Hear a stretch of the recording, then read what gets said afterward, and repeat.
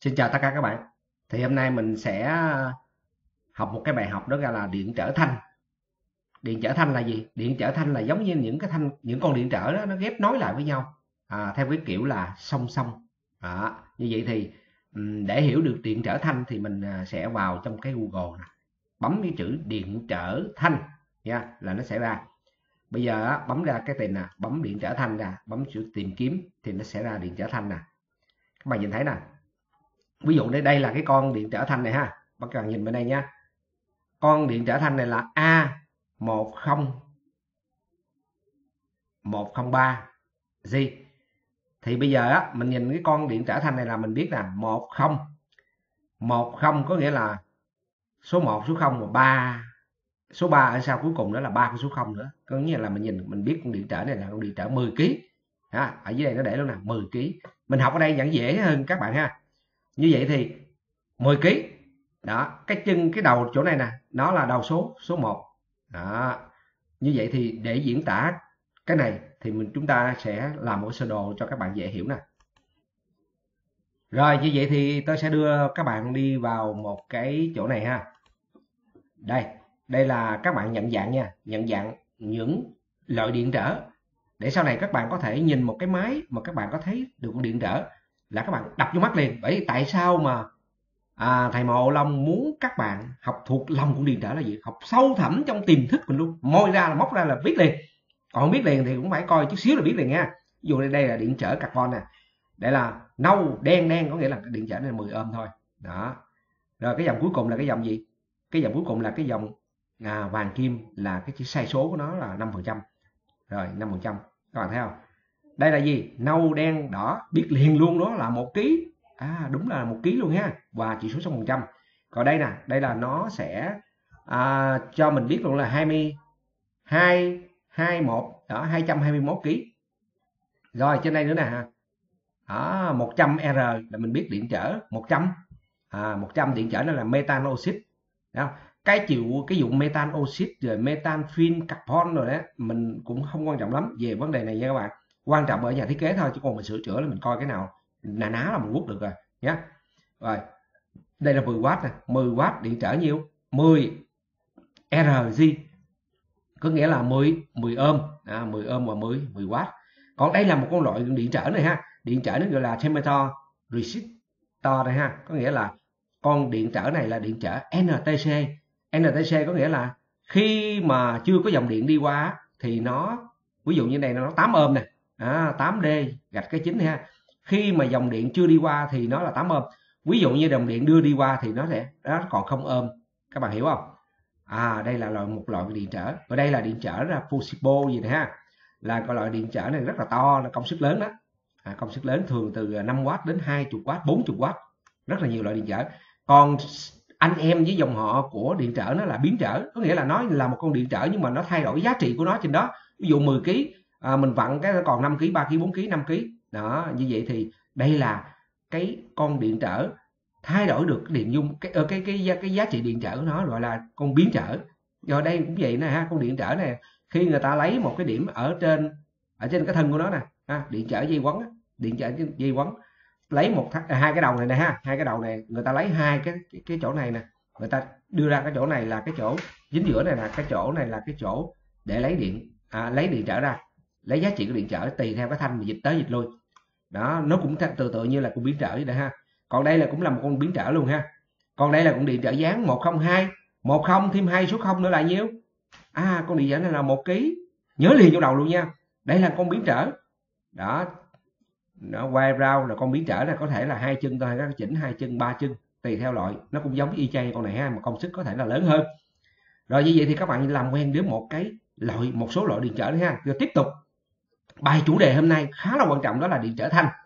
Rồi điện trở thanh nó là gì này các bạn? Các bạn thấy nè điện trở thanh nó nó nó, nó là màu đen gì nè? Này các bạn thấy nè nó là màu đen gì đó. Đó nó có nhiều cái chân gì đó khoảng 9 chân 8 chân 3 chân hai chân. À, rồi đây là điện trở điện trở thanh mà loại dáng các bạn. Đó loại dáng. Thì các bạn đọc lên là hai hai một à, hai hai thêm số 0 là hai hai trăm hai chục ôm à, như vậy là con điện trở này là hai trăm hai chục ôm thì nó có cấu tạo như thế nào? Thì cái chân này với chân này nè. Đây cái chân này nè. Đó, cái chân này và cái chân này đó là 220 ohm cái chân này cái chân này 220 ohm điện trở này nó rời nhau nó không có dính liền với nhau. Đó như vậy thì để ví dụ thêm cái nữa cho các bạn hiểu nè. Đây là điện trở tám chín chân. Chín chân ha chín chân thì nó có hai loại. Một loại á ví dụ như là 470 à, k có nghĩa là 470 kg thì cái chân đầu tiên á là cái chân này nè nó có chấm cái chấm nè à, các bạn thấy không? Nó có chấm cái chấm đó. Cái chân này nó có chấm cái chấm giữa này nè ha. Rồi cái chân giữa này nè là nó đi từ đây nè qua bên tới đây là có nghĩa là nó đi hết tất cả các đầu của con đi của của của con điện trở. Một hai ba bốn năm sáu bảy tám con điện trở. Tám con điện trở này nhập chung đầu lại nó ra một cái đầu số số 1 còn tất cả con điện trở còn lại nó là gì? Nó là trống. Ví dụ như mình cấp nguồn 12V đây. À 12V đây thì lập tức nó chạy qua hết tất cả các thanh này nè. À, qua điện trở mà nó là nhiêu? 470 470 kg ngoài ra à, nó gọi là chân lẻ nha chân lẻ. Còn cái chân chẵn thì là là như thế này. À, chân một và chân hai đó là một cái con điện trở chân ba chân bốn đó là một cái con điện trở nó liền qua. Chân năm chân sáu là một con điện trở nó liền qua. Và có nhiều chân. À, trong các thiết bị máy các bạn thấy cái này là hai bốn sáu tám chân. Thì cái loại chẵn như này nè là 8 chân thì nó là loại điện trở như thế này nha các bạn ha. Còn 9 chân thì nó là loại điện trở như thế này. Các bạn hãy chú ý chỗ đó được chỗ đó nha. Còn đây cũng vậy nè. Đây là điện thoại là hai, bốn, sáu, tám. À tám. Tám chân nhưng mà nó thuộc về dạng dạng lẻ. Đó. Tất cả các chân một này nè, đều nói lời với nhau. Chung với nhau 330 ôm nè, các bạn thấy không? Chân một, nó nói liền với tất cả các diode ở các à, điện trở. Sorry nhé rồi tất cả các điện trở. Nó nói liền với nhau. Rồi bây giờ mình à, mình hiểu cái điều điều này không nè? Coi có con này cái gì đó? Con này là chân lẻ nha. Ở chân chẵn nha. Một hai. À một hai. Hai trăm hai mươi ôm qua đây hai trăm hai mươi ôm hai trăm hai mươi ôm vậy như, như vậy thì ở trong cái con này nè. Ở trong cái con này nè. Hai hai một. Con này là nó là bốn con điện trở nha. Còn đây là năm con điện trở nè. 5 môn điện trở một không, thêm 4 số 0 nữa, con này là nhiêu? 100 kg nha các bạn. 100 kg rồi, như vậy thì các bạn học thuộc điện trở ha. Rồi, để mô phỏng thêm cái nữa thì các bạn thấy nè. Đây. 1 2 3 4 5 6 7 8 9 9 con điện trở này nói chung đầu lại với nhau và đưa ra một đầu cái chân này là chân số 1 và tất cả các chân còn lại là điểm theo chân ha. 2 3 4 5 6 7 8 9 10 thì ở trong những cái thiết bị máy móc, mình gặp cái con này là mình gặp là gọi là điện trở điện trở thanh à, hoặc là điện trở băng. Rồi nhìn qua một cái hình nữa các bạn nhìn thấy nè. Đây 10 R0 R0 có nghĩa là không có thêm. Nè con này 10 ôm. 1 R0 là một ôm. 100 10 là là 10 thì số 0 sau này không thêm có nghĩa là 10 ôm. À, R10 à, R10 R10 này là nhiêu nhiêu ôm các bạn? Là 0,1 à, 0,1 à, ôm rồi như vậy là đây là gì? 270 270 và 270 cái này là 27 ôm. Rồi đây có một điện trở thanh nè.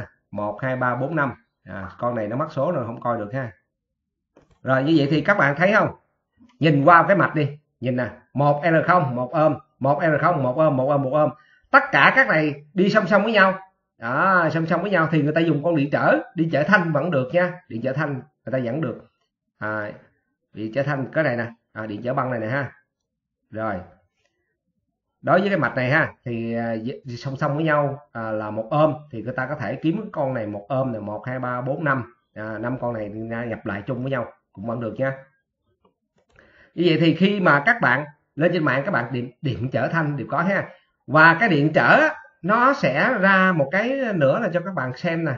Điện trở cái này cái này là cái thanh điện trở nha. Này nè thanh điện trở nè thanh điện trở, là cái thanh đốt nóng, đốt nhiệt đó nó gọi là điện trở, rồi gọi là điện trở thuần nha các bạn. Rồi, như vậy thì các bạn thấy nè, rất là nhiều ha.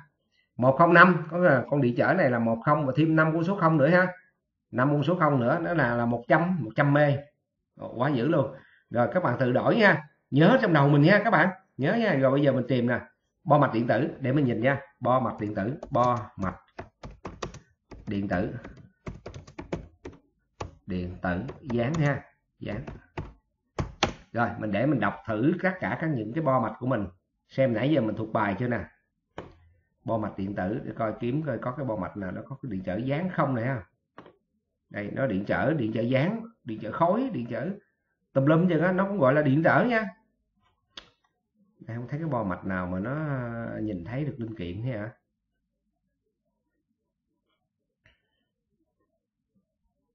Rồi. Đây các bạn thấy không?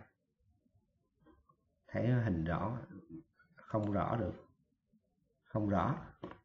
Rồi điện trở dán đi, điện trở. Trở thanh. Dán. Rồi. Mình không biết gì gọi google các bạn. Ông thầy google ông thầy quá tuyệt vời luôn mà các bạn. Phải à, nắm ông thầy google mới được nhé điện trở thanh điện trở dáng nè. Rồi bây giờ vô thử hình này nè. Các bạn thấy nè không không này không? hai bảy không là hai bảy ôm này không? hai bảy ôm là không không ôm luôn. Nó ghi tùm lum chân á? Nhưng mà mình có thể là mình biết được nha. Đón nó biết được nha các bạn. Đó.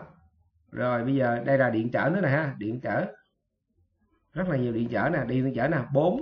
À mình nhớ là màu vàng là bốn bảy không. À, bốn bảy không có nghĩa là số không là không có thêm số không nào hết. bốn bảy là bốn bảy ôm. Nữa mình sẽ coi trên đây là mình biết được đây là con điện trở thanh nè con điện trở thanh này nè Thấy không con điện trở này là con điện trở thanh 8 chân 1 2 3 4 5 6 7 8 đó điện trở này là điện trở mắt à, song song với nhau song song với nhau song song, song với nhau gọi là điện trở chân chẳng đó điện trở chân chẳng đó rồi bây giờ trở lại nè ta ứng dụng trong điện trở này như thế nào bây giờ ví dụ như bây giờ là con điện trở này ha này lấy con điện trở này đi à lấy con điện trở này đi thì bây giờ mình sẽ quấn một cái con led nè các bạn. Ví dụ như là con led này ha. Con led. Ở đây. Rồi đây con led luôn. Này nằm trong mấy cái mạch điều khiển đồ này kia ha. Mấy cái mạch để mà đồng bộ với nhau á. Đó.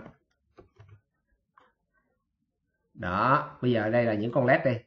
À, đây là những con led nè. Bây giờ mình ngắt nó ra ngoài nha các bạn. Ngắt ra ngoài nè lấy ra ngoài nè. Đó. Bây giờ lấy ra ngoài đi, để tôi mô phỏng cho các bạn xem con điện trở này nó hoạt động như thế nào nha.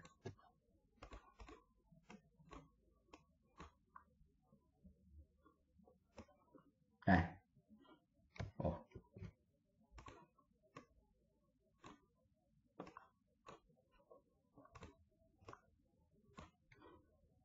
cắt nó ra ngoài luôn đây bây giờ đây nè.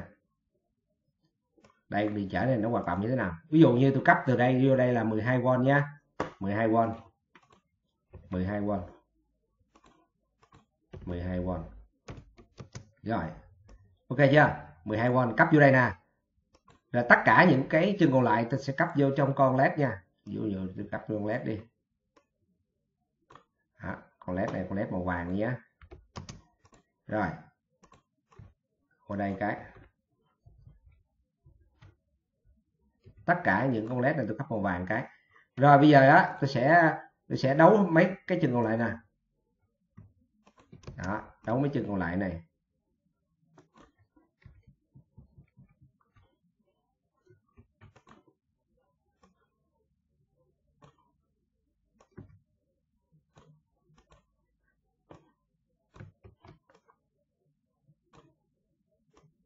Rồi mấy chân còn lại này nè.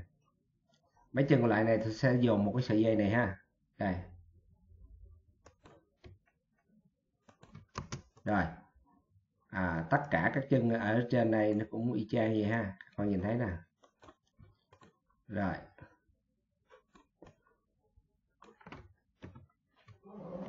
Rồi các bạn nhìn thấy không? Từ đây đây là cho nó chung nha các bạn.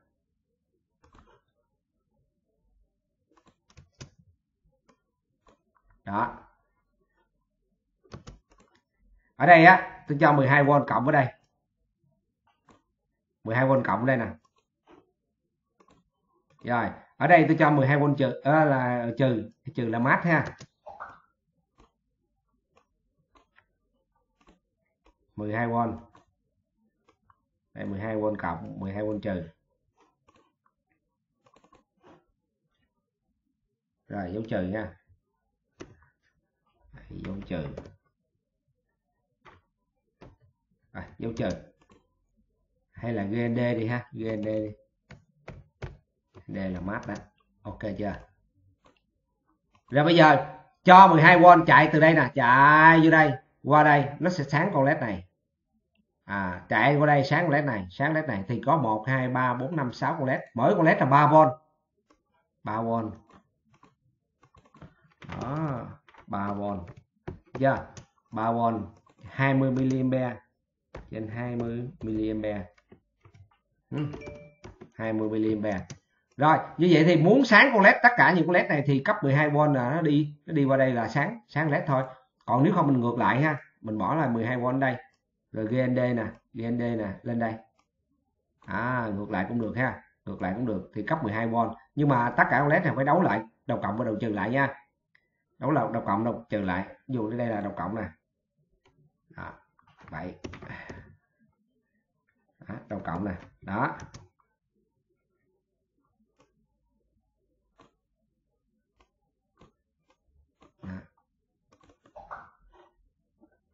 Như vậy thì mình sẽ bấm đầu cộng. Tất cả con led này là đầu cộng hết nhé. Rồi.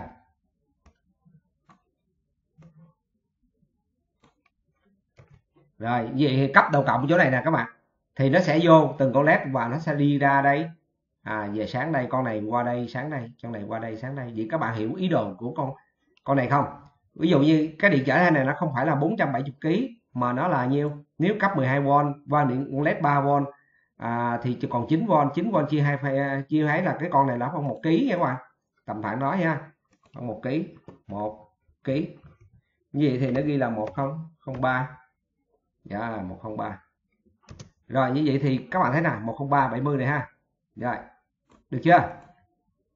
Các bạn nhìn thấy, hiểu hiểu hiểu hiểu vấn đề không nè hiểu bài không nè đó, rồi, như vậy thì làm một cái ví dụ nữa nha. Các bạn không có con điện trở này thì cũng làm làm làm được con điện trở này cũng được nè. Lấy một, hai, ba, bốn, năm, tám cái con điện trở một ký này nè. Nhập chân nó là một chân và đưa ra chân số 1 à, đưa ra trang số 1 đây. Đưa ra trang số 1 nè. Trang này trang số 1 nè. Đó. Rồi 1 2 3 4 5 6 7 8 9 10 à, tất cả giống như con led này ha. Thì mình nếu mà mình không có cái con này mình thay không có cái con này là mình thay con 70 à, à, con à, con à, con 470 kg hoặc là con 1 kg này là thay thì mình có thể lấy một hàng điện trở này mình nói giống như vậy được không các bạn? Đó là thay thế nha ở đây cũng vậy nè. Nếu mà con điện giải như thế này á điện giải đây nè 104 nha yeah, là một mê thì bây giờ mình sẽ thay con điện trở này. À điện trở đây nè. Chương 1 chương 2 chương 3 chương 4 chương 5 chương 6 chương 7 chương 8 đó nó cũng bi trang gì ha. Mình cũng thay được. Hoặc là mình dùng gì? À mình dùng nguyên một hàng điện trở này cũng được ha nhưng mà nó lại biến tấu lại chút xíu. Như vậy các bạn hiểu vấn đề không nha? Rồi video này sẽ kết thúc. À, các bạn nhớ bấm follow kênh để xem nhiều video tiếp theo để giúp các bạn biết được điện tử cơ bản là gì nhé. Bye bye.